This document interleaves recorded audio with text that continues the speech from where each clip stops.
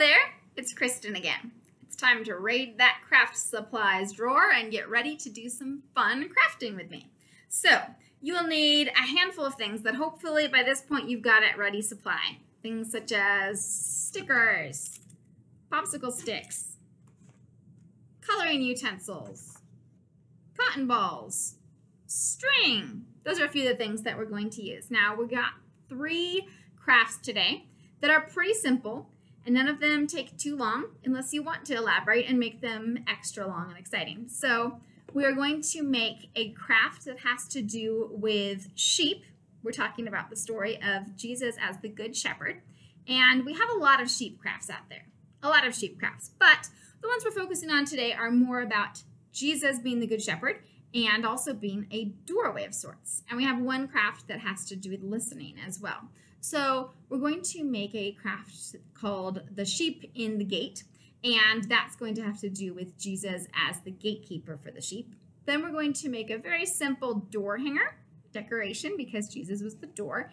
Then we're going to make a craft that has to do with listening and paying attention because Jesus said that the sheep know his voice and listen when he calls their name. So the first one we're going to do is very simple. This is a door hanger. And all you need are some coloring items, markers, crayons, colored pencils, whatever. Um, some other decorations like some stickers, some scissors, and then paper or cardstock or cardboard or something that you can decorate. So we're going to make something to go over a door to remind us that Jesus talked about being the doorway.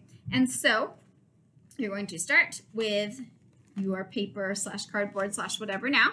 It might help you to draw sort of an outline so you know what it is that you're going to be drawing within. You can make it just a straight line that may or may not be straight. You can make it an arch. You can make it a triangle if you want, I guess. And then you want to kind of give yourself an idea of where the door hole, the doorknob is going to go so you can hang it over the doorknob. And if you and if you have a longer or a larger doorknob, you might have a need for a larger hole there. But that's going to give you an idea then. You can decorate it however you like. You can put a verse on here. You can put an extra caption on here. You can put some fun stickers. You can decorate it and color it and go to town. You can do glitter if you're feeling extra excited. And then you're simply going to cut this out now, if you want it to be maybe firmer or sturdier, you could glue it to some foam or felt or cardboard and make it kind of something that's a little bit more sturdy. If you have the tools to do some sort of a lamination or put some um, some plastic around it, that could be fun too. And then you're going to carefully cut out that door hole. And this is the very brief version elapsed time after all of this takes place is you have your fun and fabulous door hanger.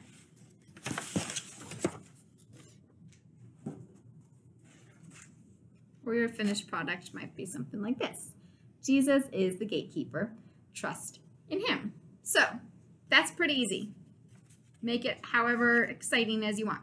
Now, the next one we're going to do is a little bit more elaborate involved, but it's still relatively simple. You'll need a piece of paper, any size. This happens to be a large piece of paper because I wanted to make it big.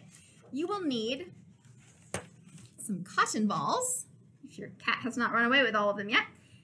You will need some popsicle sticks, or you could also use toothpicks or even Q-tips, whatever you happen to have on hand that's kind of straight.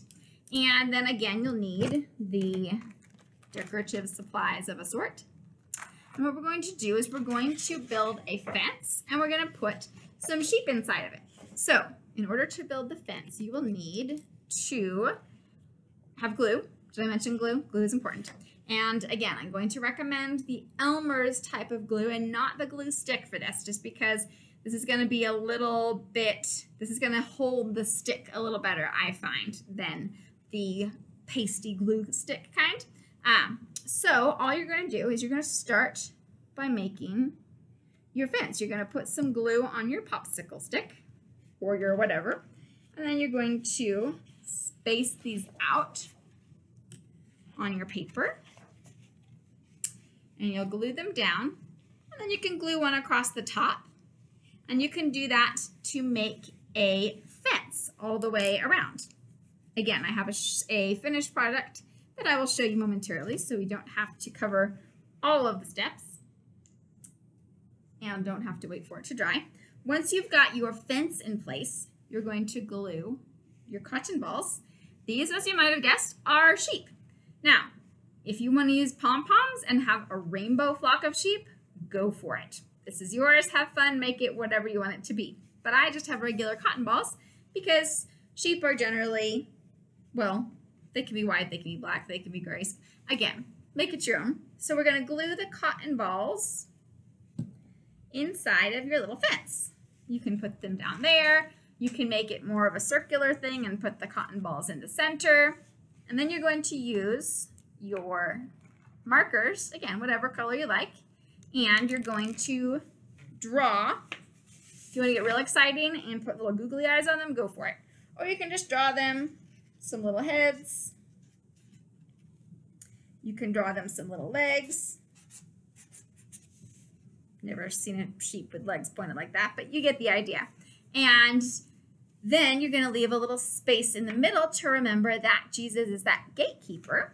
You can add a verse or a caption, and here comes the final product. You have your sheet.